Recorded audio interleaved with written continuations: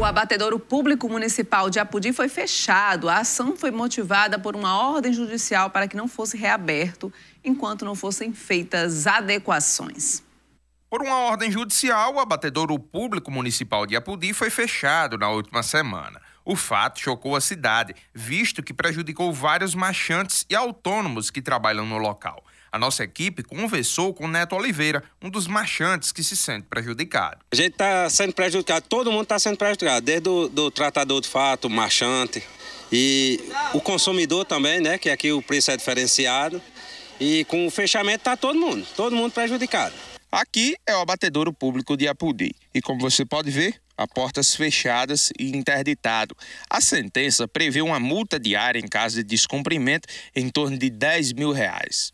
O secretário de Agricultura de Apudi, Elton Rosenberg, também conversou com a nossa equipe e explicou o que de fato aconteceu. Nosso abatedor público ele foi construído na época em um terreno que não pertence ao município de Apudi. Esse é um dos entraves, porque na forma judicial, nosso abatedor ele não possui a licença ambiental e que isso vem tornando, trazendo transtorno para o nosso município.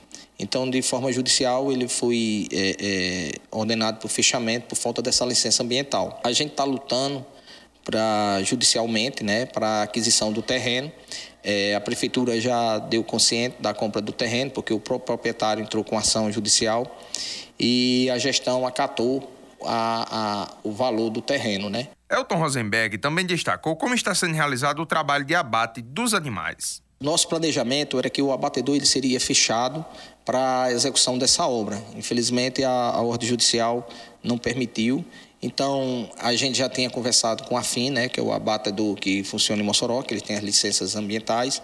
E o nosso animal ele vai ser transportado para Mossoró, né, em boiadeiro, não vai ter custo para os margarefos, os marchantes daqui.